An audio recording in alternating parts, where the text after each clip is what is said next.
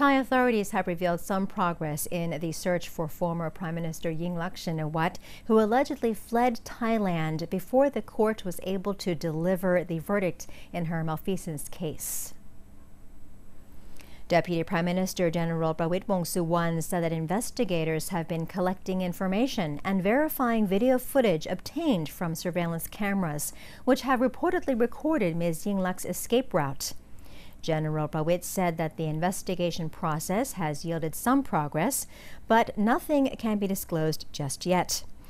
He also stated that Thailand is not likely to ask Cambodia if it has information about Ms. Yingluck's escape when the two countries met at a joint cabinet meeting this week.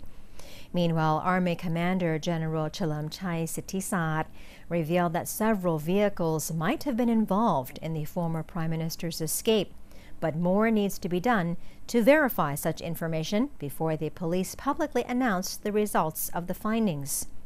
At the same time, Interior Minister General Anupong Paochinda denied rumors that he had been involved in a process to help the fugitive premier leave the country, while instructing the police to file charges against those responsible for making such a claim and spreading it through social media.